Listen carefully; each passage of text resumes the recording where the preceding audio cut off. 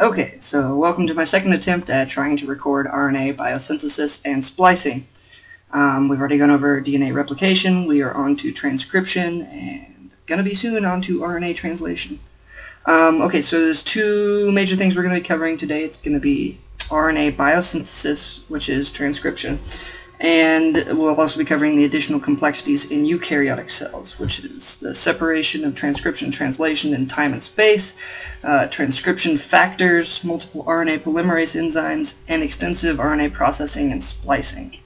So all that and more. Uh, stay tuned.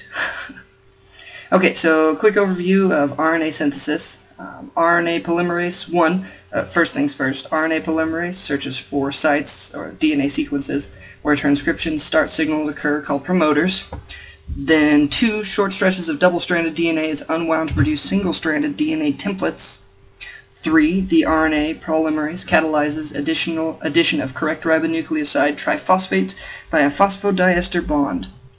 Four, synthesis continues in one direction. And five is the termination. Signals indicate where transcription ends. Okay, so the initiation of transcription at promoters, or, or one. Uh, specific DNA sequences called promoters indicate the start site for transcription. One common promoter site is the TATA box, which is T-A-T-A-T-A. Okay, and the efficiency of promoter sites dictates speed and frequency of RNA biosynthesis. So this is the consensus sequence. Uh, the closer that a region is to the consensus sequence, the it determines the speed of the transcription, essentially.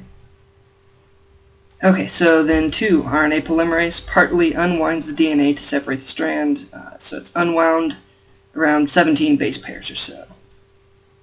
Okay, so then, oh, sorry, I'm clicking the source of things. The then we see the addition of new nucleotides by RNA polymerase, and it is very similar to DNA polymerase reaction in regards to how it works. You still see sort of the hand structure there. Um, it's going to have the, the similarities include that it's a nucleophilic attack of 3' hydroxyl on the first phosphate uh, to form the phosphodiester bond. It's supported by two metal ions, which you see there and there. It occurs from 5' to 3' direction. It is energetically favorable it's uh, driven by cleavage of phosphate, and it has uh, proofreading ability, some. And there is no primer needed for RNA polymerase. Sorry about that. Okay, and four, the replication continues in the transcription bubble only on one strand in only one direction. Only on one strand in only one direction.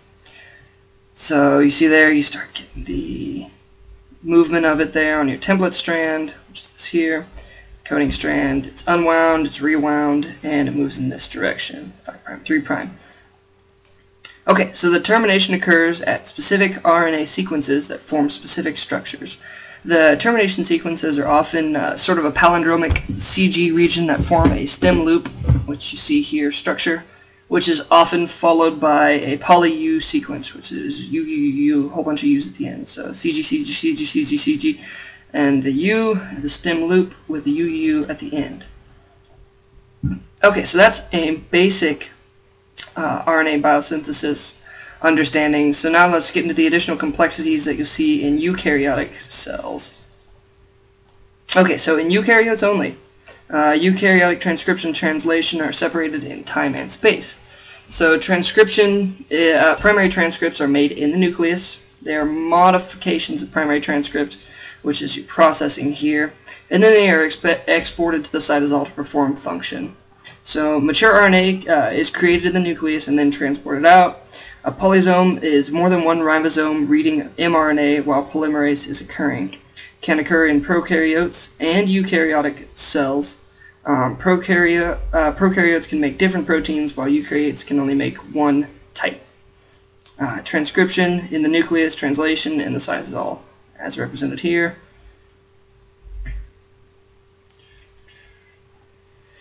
Okay, so additionally, again, in eukaryotes only, the transcription complex includes many additional proteins called transcription factors. Um, individuals can speed up or slow down, individual proteins can speed up or slow down transcription. Uh, this leads to very precise control of gene expression. So I can see here, this, this uh, particular region of transcription requires the additional proteins like B, F, and the RNA polymerase 2 and the E protein in order for that particular sequence to be initiated. Okay, still eukaryotes only. Uh, eukaryotic RNA polymerase differs from prokaryotic RNA polymerase. Uh, eukaryotic have several different RNA polymerase enzymes 1, 2, and 3, which make different RNA products. So the RNA polymerase 1 makes most of the rRNA synthesis. RNA polymerase 2 makes mRNA and snRNA, RNA, snRNA. And 3, uh, RNA polymerase 3 makes tRNA and 5S RNA, rRNA. So the activity of some eukaryotic RNA polymerase, uh, RNA polymerase 2 is controlled by phosphorylation on serine residues of an extra C-terminal domain. Uh, different RNA polymerases are affected differently by inhibitors or toxins. Uh, example, uh, alpha amanitin, which creates death caps, or toxin that can shut down RNA polymerase. Okay, um, additionally, still in eukaryotes only, there's extensive RNA processing. Um, you see the S here, that's S is a Svedberg unit, it's based on size. It's not really important for what we're talking about, but it's on there so you know that it's there. Okay, so ribosomal RNA processing. The nucleotide modification of bases in ribose by small nuclear, uh, nucleolar ribonucleoproteins, uh, so SNRPs, as SNORPs, SNORPs. Uh, cleavage, and then it is cleaved into different rRNAs, so it's taken out, splicing, sploom brought together, pushed together into mature rRNAs. Okay, and there's quite a lot of processing that occurs in tRNAs, um, in eukaryotes still. Um, now do note that the prokaryotes do some processing. Okay, so tRNA processing, transfer RNA processing. There's a removal of a leader sequence, which is this part, which is capped off in pro and eukaryotes. There's removals of intron sequences, which you'll see here. That's taken out. You don't see it over there. Um, exchange of the terminal sequence for this. And then the alteration of several bases, which is kind of hard to demonstrate just on here. Um, so just of note there, the exchange, uh, all mature RNA sequences have a CCA tail at the end, on the hydroxyl end. Um, and then the splicing, just of note, does occur in the anticodon region down there in the loop. Okay, so the extensive mRNA processing in eukaryotes, uh, messenger RNA processing, um, involves the addition of the 5' cap and the cleavage of the 3' end and the addition of the poly A tail. So what you see is the cleavage signal, so it receives its 5' cap, receives a cleavage signal as a point at which it needs to be ended. The nascent rRNA, uh, nascent RNA is uh, cleaved by the specific endonuclease. Uh, ATP is applied and phosphorylation, um, uh, which causes the addition of the poly A polymerase tail. So uh, when you're finished there, you get what's called a polyadenylated mRNA precursor. So the, the poly A tail can add up to 200 A's on the tail, so it's just A, A, A, A, A ad infinitum there towards the end of the tail. Okay, so the structure of eukaryotic mRNA 5' cap. So the sequence of modifications, you have uh, a 5' terminal nucleotide triphosphate, which is modified to remove a single phosphate, which is what you see up here. So 5' moved to a single phosphate. Okay. So then the diphosphate 5' end attacks the interiormost phosphate GTP molecules to form a 5' to 5' linkage. Then the G base is methylated, and the adjacent ribosome, riboses may also be methylated. So what you see there is the end here, the 5' cap of this, has been methylated in 1 and 2 and 0 locations. You see here, here, just methylated in 2, methylated in 1, 1 and 2. And this one is 0, 1, and 2, which is the cap. So the biggest thing that this does is increase and enhances the mRNA stability. Okay, so now that we've sorted all that out, we need to explain what happens next. Let's go into the splicing, which we kind of covered earlier. Okay, so at specific regions, there's uh, a few players that are going to be taking, at specific regions for splicing, there are a few major players that you'll see involved. Uh, so in the, you'll have the primary RNA transcript, which is this, uh, five SNRNPs, or SNRPs, small nuclear ribonuclear proteins, named U1, U2, U, uh, U4, U5, and U6. And then there's 50 or so accessory proteins as well. Okay, so the basic chemistry of splicing. Basically, oh, sorry. The, basically, the RNA has a 2' hydroxyl on every sugar. This uh, 2' hydroxyl attacks the phosphate at the 5' splice site, so it goes in here and attacks at the 5' splice site.